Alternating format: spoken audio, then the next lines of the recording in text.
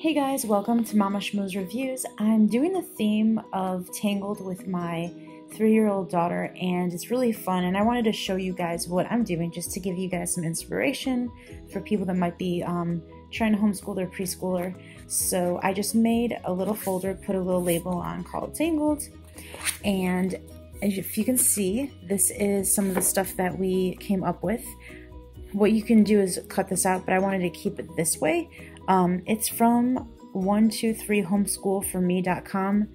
This website right here is amazing. She has taken out so much time and made a lot of curriculum for preschoolers and kindergartners and this is called a number clip and you have clothespins and you clip the clothespins on the number of apples or a castle or or anything that you find on here. Now what I chose to do is I have a bag of numbers and my daughter picks out the numbers and she matches them to the card here. Or you could use clothespins. You could basically use any like math manipulatives. So this was fun. I just laminated this. Um, I am doing Trust in the Lord with all your heart and do not lean on your own understanding from Proverbs 3 5. I got this from Coloring Pages by MrAdron.com. So this was like something I found on Pinterest. But we're doing the letter T for Tangled, so this was the um, this was the first verse of the week that we're going to be doing. And then also from the same um, homeschool123 from me.com, they have these ABC um, little cards that I laminated, and this was for T. Um, so we're doing the letter T. This was the same exact scripture as it is here, and this is great. There is a scripture for every single letter in the alphabet, and I love it. So it's like basically whatever theme you're on, you could incorporate a scripture verse for memorization. So I'm gonna have my daughter color this. Then I found this. Um, Trust in the Lord with all your heart, and um, a little devotion I found online. I don't remember the website, but I thought that would be a cool little thing to read to her. This I also got at um, homeschoolforme.com. Um, roll a graph, and you cut this out, and you make a box out of it, and there's a graph that goes alongside with it, and you can um, make a game out of it. It's really cool. And then also, um, these are little cutting practice things for her to do for cutting her carefully along the lines. Also, I got this from 123 Homeschool for Me, and I love the little characters in there. I thought it was so cute. She loves it. She wants to cut all the time. She's just now learning. So they had some straight lines and some curved lines. And I have some stickers in the back of my book that I give her every time she finishes something.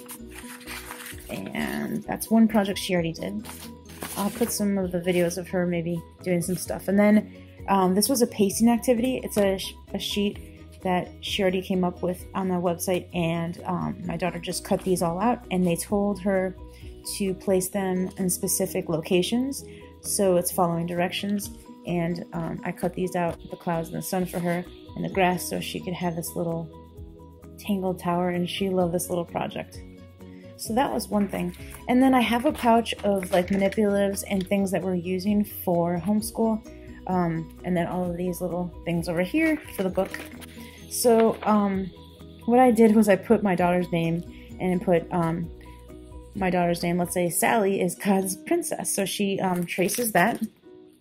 Then over here it says a special girl, what did Esther become in Esther 2.17? So we are going to look that up and um, answer the question and connect the dots. So that's going to help her um, with counting.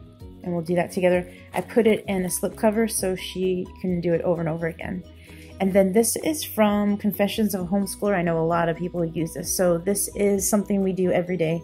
Um, we'll tell the time, what time it is, and um, she likes to do a little outfit for the day of what she wears and what the temperature is.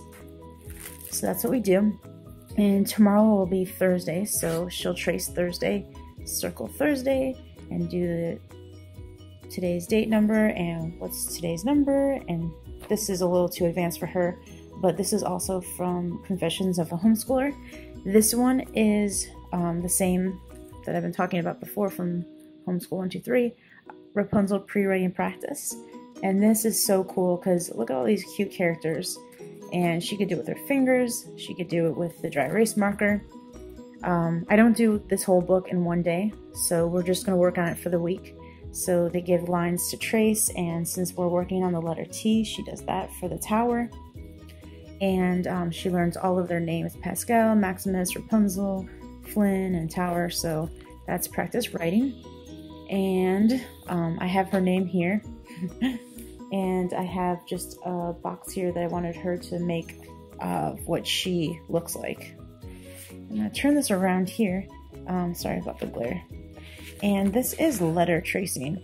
So I um, have your child use their finger, they use Play-Doh or markers. I'll show a picture of her, she did Play-Doh. Um, or um, she could use these little squares that I have available. Um, I have a bunch of little squares and then she fills it up from like a Melissa and Doug pattern thing. Then I um, got this from a Dollar Tree book, Tiana, from one of the Disney princesses. So since it starts with the letter T, I'm incorporating it in this little lesson book. So she thought that was great. She finally got to know this princess's name. She's watched the movie, but we don't know the name, so now we know. And she's um, learning how to write T's. This one I just made up myself. I think she had something like this, but um, I wanted her to draw something and dictate a little story for me to write down for her. I thought that was a little cute. And this is letter and sort. Um, you cut out these apples, which I'll show you right here. So you cut out these apples and um, she puts, there for you guys. She cuts out these, I cut out these apples and I laminated them and you just basically put the lowercase and the uppercase and she was matching them and she thought it was great. You could do a lot of other things with these. So I just put it in a sleeve, like I said, so we could reuse it. And then you can make a file folder game with it later on. Or you could laminate it and make a game, but it's really cute. Then I got a little poem off the internet called Up in the Apple Tree. It's really cute. My daughter loves this poem, and since we're doing and talking about apples, I put a poem in there for her. This came also from the same website. It's which one's different. And so she has to circle it. Same with this one, which one's different. And then this one I thought was neat. It says build a word. Use letter disc or Scrabble tiles to build the following words. Well, I just I got these from the Dollar Tree a long time ago. So I'm just gonna have her like build the word with these on underneath the actual word right here so the tower and the horse. I thought that was pretty neat. Or they could actually, if they wanted to, use a dry erase marker and create the letters underneath it. And I wanted to incorporate some math. She's only three and a half, so I mean, nothing too crazy.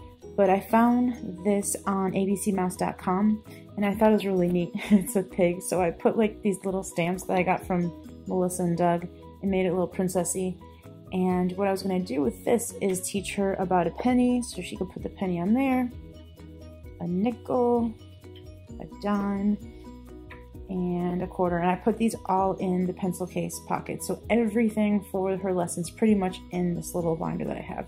So we were going to learn about that. I was going to teach her about coins and how much the penny is and nickel, dime, and quarter. And there's um, a little song that I think I a little poem that I have about penny, nickel, diamond, quarter. You could probably Google, and that helped her learn her her number, her uh, coins. Then I found this. Um, I'm gonna do a Dollar Tree haul soon with the preschool workbooks I got for her, and I pulled it out. Um, this one I pulled out of it, and it's really like um, pretty hard math for her. I feel because we don't really do any adding or subtracting yet. She's really young. But I'm going to do this with her counting the stars and counting the shells and putting the numbers down here and like counting with her together. And so she can count all these together, combine them, and um, learn how to add her numbers. So we'll see how that goes. This is definitely a mommy and me type of a activity. This one is, um, we're tracing triangles because um, we're doing T for the week. And so she'll trace these triangles. And on this one I found at the in the Dollar Tree book um, for kindergarten readiness, I think. I'll show you guys in another video. So I had Melissa and Doug little pattern blocks, little um, shapes. So I was gonna have her put all the triangles on all of the triangles on the picture and then count them and then she would write the number in there. So I thought that was a fun idea. T for Tangled. And then this is just free writing. She likes to pretend that she's writing. Or I'll ask her to write a few words and we could do some reading and she could um, color on these little pages in the back. And in the back are all of her little stickers, mermaid stickers for being um, a good girl and just for rewarding her. And I have a few like um, flashcards in the front for like with princesses and gems so she could like do more counting. So that's basically it. And I have um, Melissa and Doug reusable sticker pad, Princess Castles. And if you guys don't already have this, these Melissa and Doug reusable sticker pads, I suggest you get them. They're like probably clearance, like three to four dollars. You could get them probably six, seven dollars, not on sale, but they last forever. And if you see, there's like tons of stickers and tons of scenes. And so she could probably um, stick some of the stickers on some of these like um, some of these little pages she has on here or create her own little fun play here. And then I have the, these Melissa and Doug stickers. I love Melissa and Doug as you can tell. Um, so maybe on the like blank pages on the back of the notebook she could um, use stamps and then color them in with like some coloring pencils. So that's basically it. I wanted to just do a fun little um, princess theme for her and would be great. And I will show you guys some pictures of um, the things that she did this week. We have a few more days to go, but I thought this was cool and I wanted to just show you the free resources I got online and I'll link them below for you guys. And anybody could do this. It's super simple and it's really fun and they have like a lot of um, other themes like Curious George and stuff for boys on there that I'm going to probably do for my son soon. So I hope you guys enjoy this video. Give it a thumbs up and let me know if you want to see any other videos like this in the future um, to give you some inspiration and um, more resources online to create your own unit themes. Thank you so much for watching.